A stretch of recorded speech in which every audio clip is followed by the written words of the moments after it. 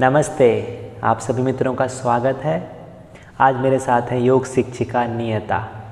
आज मैं आपको बताने जा रहा हूँ श्वास के बारे में। हम में से अधिकतर लोग श्वास गलत तरीके से लेते हैं। ब्रीथिंग जो है हमारी गलत तरीके से है। उस गलत तरीके से ब्रीथिंग लेने के कारण हमको मानसिक और शारीरिक समस्याओं का सामना करना पड़ता है। तो आज मैं नियता के माध्यम से बताऊँगा कैसे आप अपनी श्वासों को सही तरीके से ले सकते हैं और अगर आप श्वास लेना सही तरीके से सीख जाएँ तो आपके जीवन में बहुत ज़्यादा क्रांति होगी और आप बहुत ज़्यादा उस चीज़ों का लाभ उठा पाएँगे। आप बहुत ज़्यादा गहरे ध्यान में जा पाएँगे, आपका शरीर स्वस्थ हो पाएगा, आपका मानसिक स्वास्थ्य अच्छा हो पाएगा। तो इस वीडियो को ध्यान से समझिए, सुनिए और जो इस प्रयोग के बारे में बताने जा रहा हूँ, उसको आप करिए। कम से कम एक हफ़्ता उसका प्रयोग कीजिए तो आपका पूरा ब्रीथिंग जो है, आपका श्वास वो अच्छे से हो पाएगा, आप अच्छे से उसका यूज़ कर पाएँगे। हम में से अधिकतर लोग श्वास को जो है छाती से लेते हैं, ठीक है? अगर हम लंग्स को देखें लंग्स के तीन हिस्से हैं, एक अपर लंग्स ऊपर का, एक मिडिल का पार्ट और एक नीचे का पार्ट ठीक है?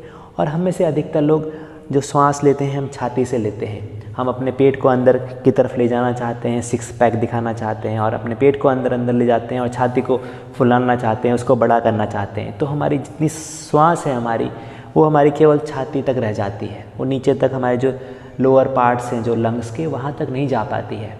और अगर आप देखेंगे शरीर को तो ग्रेविटी के कारण, जो गुरुत्वाकर्षण होता है, उसके कारण बॉडी का अधिकांश ब्लड नीचे की तरफ़ रहता है, हमारे लंग्स के नीचे के पार्ट में। और जो ब्रीथिंग हो रही है वो ऊपर है और जो ब्लड है वो नीचे है। तो उसमें कॉम्बिनेशन जो ब्लड ऑक्सीजन चाहिए जिस ब्लड को, उतनी ऑक्सीजन ब्लड को नहीं मिल पाती है और जो हार्ट है हमारा, वो उस ऑक्सीजन को हमारे शरीर में नहीं पहुँचा पाता है उतने अच्छी तरीके से। पहुंचाता है पर उसकी उसकी जो क्वालिटी है, उसकी जो क्वांटिटी है वो बहुत कम होती है। पर हम जब हम गहरी श्वास लेंगे, गहरी श्वास का प्रयोग करेंगे तो हमारे जो नीचे के लंग्स हैं, वो भी काम करेंगे और हमारी ऑक्सीजन पूरी तरह से हमारे पूरे शरीर में जाएगी। तो उससे हमारा मानसिक स्वास्थ्य अच्छा होगा, उससे हमारा शारीरिक स्वास्थ्य अच्छा होगा। तो इस प्रयोग को कैसे करना है तो मैं आपको बताता हूँ। उसके लिए हम लेट जाएँगे, आराम से। नेताजी, लेट जाइए।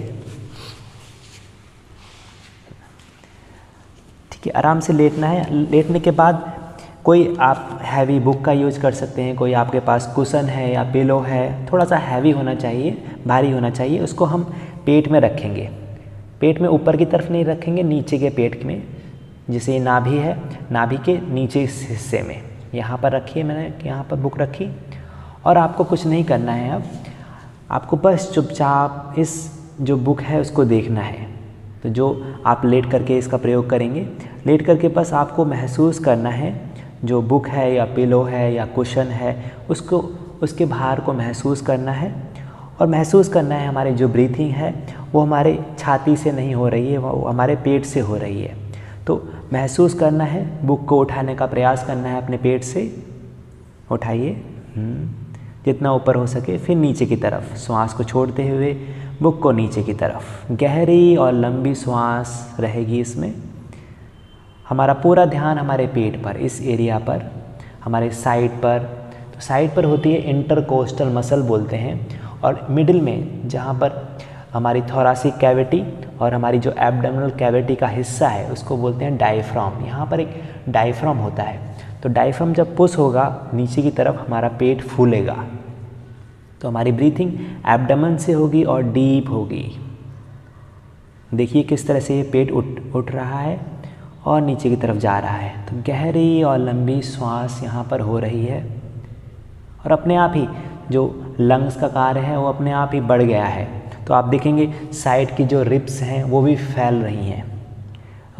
उनको भी फैलाने का प्रयास करेंगे। तो साइड का एब्डमन है, उसको फैलाने का एक्सपेंड करने का प्रयास करेंगे। बहुत बढ़िया। और केवल एब्डमन तक नहीं, केवल पेट तक नहीं, नीचे के हिस्से में हमारे जो पेल्विक फ्लोर है, वहाँ तक श्वास जाएगी। हमारी लोअर बैक में श्वास जाएगी। पूरा श्वास गहरा और लंबा। बहुत अच्छा अति उत्तम। गहरा और लंबा। पूरा हमारे पेट पर पूरा ध्यान, उसको एक्सपेंड करना है। गुब्बारे की तरह इमेजिन करना है। जैसे गुब्बारा फूलता है और फिर सिकुड़ता है। वैसे ही हमारा पेट फूल रहा है। हमारे पूरे लंग्स में ऑक्सीजन जा रही है। और जब हम श्वास छोड़ रहे हैं तो लंग्स पूरी तरह से हमारे जो फेफड़े हैं वो खाली हो रहे हैं। श्वास लेते हुए एक्सपेंड हो रहा है और श्वास छोड़ते हुए कॉन्ट्रैक्ट हो रहा है। तो आप एक छोटे बच्चे को अगर देखेंगे, छोटा जो बेबी होता है अराउंड वन ईयर का तो उसको देखना अगर आप ध्यान से देखेंगे तो उसका हमेशा पेट इसी तरह से फूलता है और सिकुड़ता है। तो वो नेचुरल अवस्था है हमारी श्वास को लेने की। पर जब जैसे जैसे बड़े होने लगते हैं, हम छाती से हम सांस लेने लगते हैं। हम सोचते हैं कि छाती से श्वास लेंगे तो हम, हमको ज़्यादा अच्छा होगा, हम ज़्यादा अच्छे तरह से हम अपने शरीर को दिखा पाएँगे लोगों के सामने। पर ये गलत तरीका है। जितना हम पेट से श्वास लेंगे, हमारा मेंटल एक्टिविटी, हमारा वो शांत रहेगी, हमारा दिमाग शांत रहेगा और हम अपने जो कार्यों में अच्छी तरह से फोकस कर पाएँगे। तो बहुत ही अच्छा तरीका है। कम से कम आप इस तरीके को सात दिन कीजिए। अपने पेट पर बुक को रख करके, कुछ भी हावी चीज़ रख करके, सात दिन तक, कम से कम दस मिनट से पंद्रह मिनट आप इसका प्रयोग कीजिए और फिर आपको उसका जो लाभ मिलेगा, वो आप बताइए मुझको, कैसा आपको महसूस हुआ है उसके बाद में। तो बहुत ही सिंपल जो प्रक्रिया है, वो ये है, श्वास को लेना है और छोड़ना है। तो अगर आप कोई भी प्रैक्टिस करते हैं, सारी प्रैक्टिस को बंद कीजिए, कोई भी ध्यान करते हैं, कोई भी प्राणायाम करते हैं, पहले अपनी ब्रेथ पर ब्रेथ प्राण जिसको लाइफ बोलते हैं, जिसके बिना ज़िंदगी चल ही नहीं सकती है, पहले उसको सही तरीके से के लेना सीखिए। और जब आपको लेना आएगा तो अपने आप ही आपको दूसरे दूसरे आप जो योगाभ्यास करेंगे, प्राणायाम करेंगे, उसमें बहुत ज़्यादा मदद मिलेगी आपको। तो ये था हमारा एबडमन से ब्रीथिंग करेक्ट वे से कैसे ब्रीथिंग करनी है, इसके बारे में ये पूरी चर्चा थी। आप धीरे से वापस आ सकते हैं, नियता जी।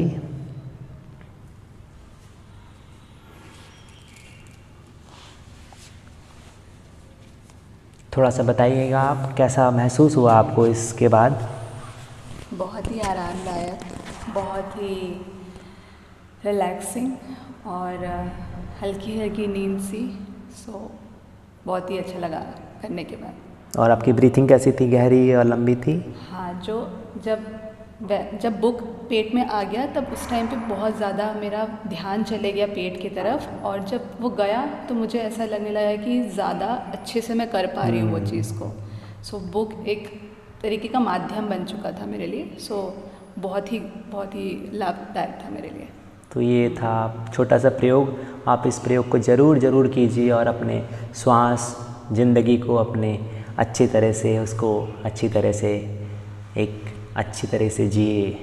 तो मिलते हैं अगली वीडियो में। आप सभी का धन्यवाद। देखते रहिए हमको। धन्यवाद आप सभी का।